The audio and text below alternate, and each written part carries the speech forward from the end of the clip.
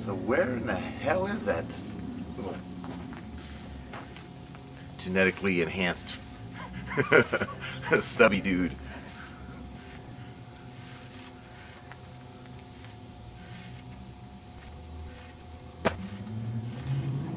Ah, I think I hear him coming now.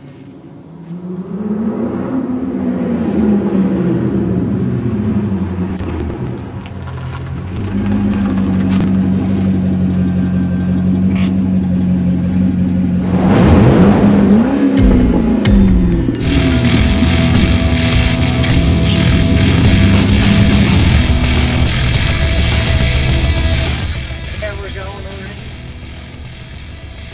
We're over at Rusty's place today to train. I'm just going to go and eat some biscuits while Rusty trains. Because we had this agreement like a couple of weeks ago, after the legs, it was the day off. But Rusty to have forgot about that. So my legs keep cramping.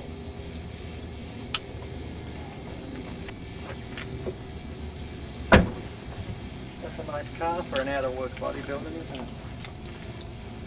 Bad. Well, Gorilla wishes he had one of them, but you know, no room for the baby seat. And the bucket of bullshit he's always spewing. He'd need one of these to put all the bullshit in that he speaks of. This is Rusty's garage. You see, you can't park the cars in here. Well, you can train. That's right, you can train.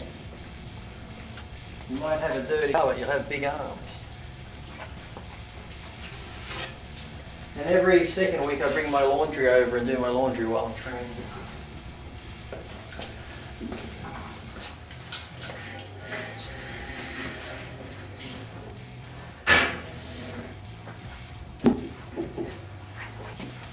So what are we doing today, Rusty?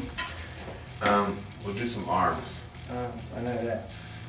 I think it was we- on. we should start with some-. You want to start by warming up with some uh, alternate dumbbell curls and maybe Okay. some, some light push downs or something. That's right.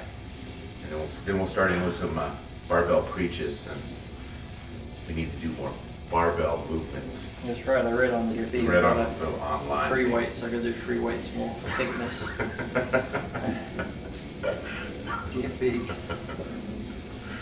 Everyone on that board should be made post a picture of themselves. I tell you.